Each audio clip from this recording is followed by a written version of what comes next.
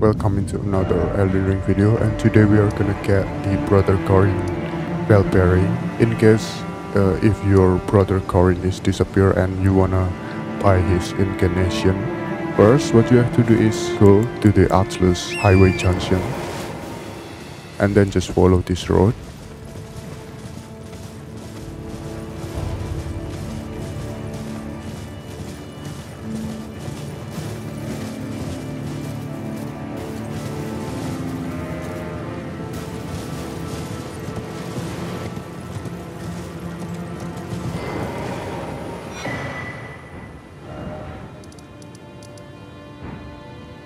This is the specific location on the map.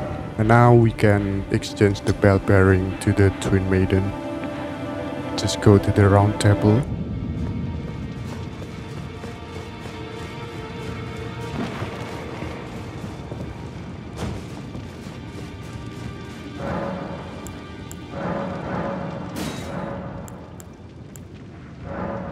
Right now you can buy uh, Brother Corhyn Incantation even if he is now is disappearing. So good luck guys. I hope this and i hope this guide is really helpful.